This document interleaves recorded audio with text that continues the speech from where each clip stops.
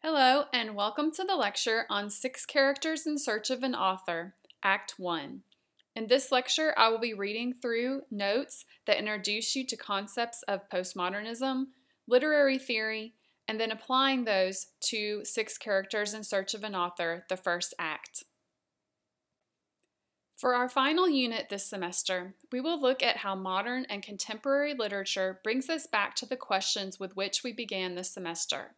Why are we telling stories? And how do stories relate to our identities? Currently, literature is typically defined by a term called postmodernism. While postmodernism is a complex artistic movement, we will examine its use in more simplistic terms as it applies to the play Six Characters in Search of an Author. First, it's important to know that this type of literature moves from telling stories that are plot driven to focusing on the telling of stories itself. Instead of an emphasis on character, plot, or mode, the emphasis is on language, representation, and the artifice of art. Postmodern texts usually refer to themselves as text, which is called metatextuality.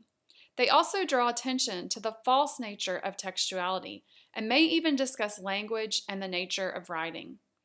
In this type of writing, some of the stories can focus on the pointlessness of even telling a story at all. Why write if writing is just a story and not action in the real world? Isn't it meaningless? However, other stories show writing as powerful because to control one's story, to shape one's narrative, is equivalent to having control over your life and who you choose to be. So, even though postmodern texts can seem absurd or full of despair, they also ask us to think about how we can still have hope within the practice of shaping stories. We began this semester by asking why we tell stories and how certain narratives might transcend cultures and apply to our lives. Now, the telling of stories themselves comes under scrutiny. For this unit, we will look at different ways to analyze stories beyond basic elements like form and mode. Using three different types of literary criticism, we will try to decipher a postmodern text and conclude by thinking about the importance and value of literature in our contemporary world. First, we'll begin with a broad look at literary theory. Criticism of literature occurs when we read, analyze, and discuss the way that we can interpret a text. Literary theory is simply the variety of perspectives, or theories, that people use to explain what a text means. In this unit, we will look at three schools of thought for literary theory New Historicism, Cultural Studies, and Reader Response. Each week, I will give you some information about one of these schools, and then we will practice applying that type of theory to an act of six characters. This week, we will start with New Historicism. This type of theory privileges the author's history and background as a way of understanding the literary text. If you want to practice new historical literary theory, you would first study the author's life and historical circumstances. Then, when you read their text, you would look for ways that the text demonstrates things about the author's life or time period. New Historicism finds the value of literature and its role as a document of a history of ideas. When we use this type of theory to understand a text, we assume that the author's background and history cannot be separated from the type of literature they write. The author is a part of history. The text needs to be connected to history in order to get the best interpretation of it. Let's start our discussion of six characters in search of an author by using New Historicism. First, we need to know more about the author, Luigi Pirandello. You can read the details about him by clicking the, the link, which will be an active link within the PDF that is posted. So Luigi Pirandello lived from 1867 to 1936. Pirandello lived during the modern era, but the fact that he discusses the nature of art and illusion in his texts puts him in the tradition of postmodernism, even if he was a bit ahead of his time.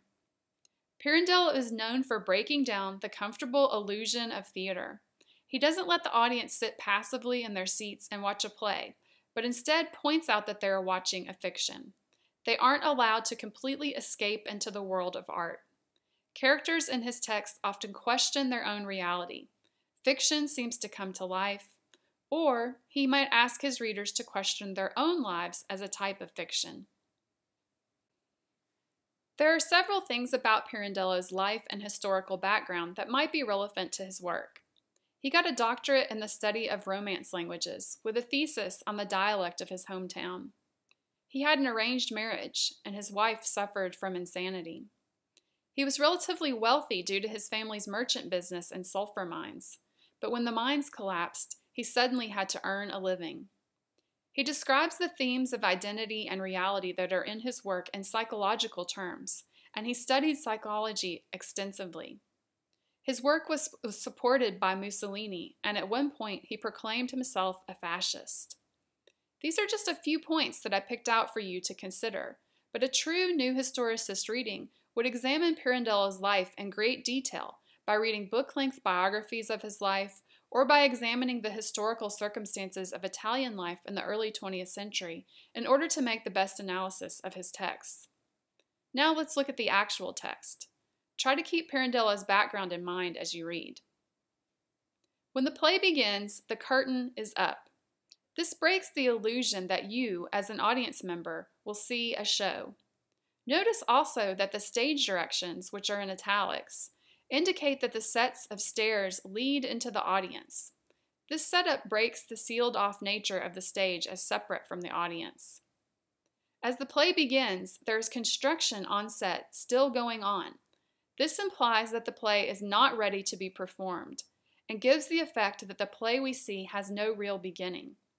All of these, these things work together to get the audience asking the question what is real and what is performed? Raising this question so early in the play helps to emphasize that the play will be about the nature of art. Remember, one characteristic of postmodernism is self referential texts. We also see this immediately in Act 1. There is a reference to the character's rehearsal of another play by Pirandello, The Game of Role Playing. By putting another one of his own texts into the play we are watching or reading, Pirandello again reminds us that what we are seeing or reading is a fiction. This forces us to deal with our relationship to the text rather than just letting us enjoy the experience of watching or reading the text. Next, we are introduced to the characters. These are not actors who will continue to play false personas during the course of a play. Instead, they are art come to life.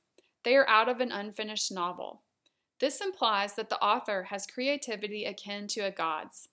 The author created them, but then left the novel incomplete, so they haven't been able to play out the roles he made for them.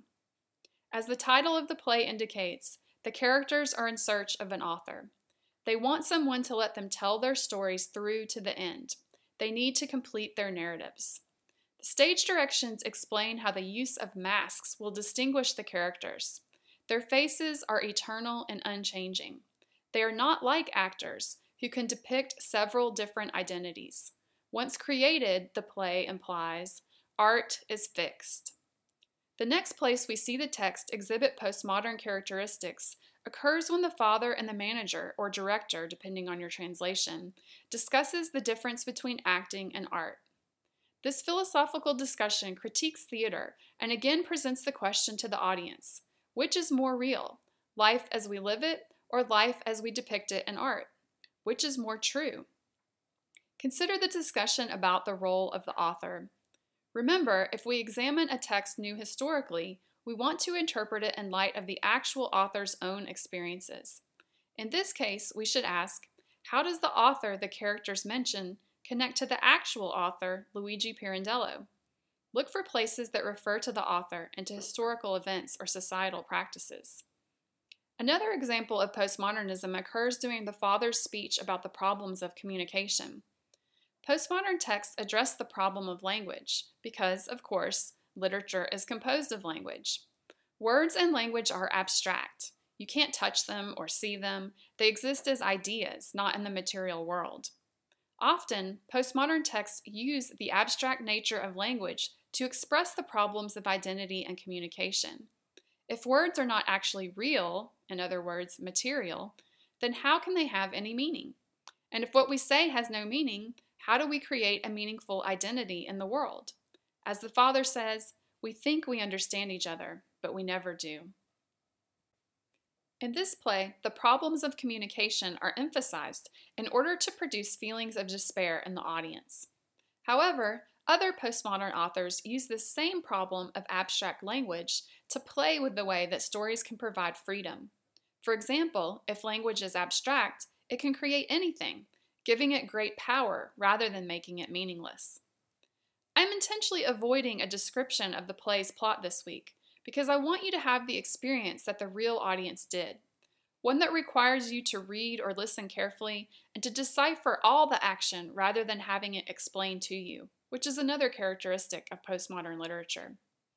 I also have avoided giving an interpretation using New Historicism because I want you to practice this for yourself. Don't worry if you feel a bit confused about the play's action right now. It will become more clear as we read, but the main thing to remember this week is that we want to look at what is revealed about the characters, how the play connects to postmodernism, and how we might try to interpret Act 1 based on New Historicism.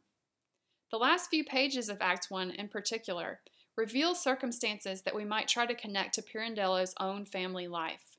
See what you think and try to argue for an interpretation using the new historical theory in this week's optional discussion. Please note, since Pirandello is trying to interrupt our regular experience of viewing and reading a play, the text does not include formal breaks between the acts of the play. You will read where the curtain until where the curtain remains up and the action stops for intermission. This is the end of Act 1. Thanks.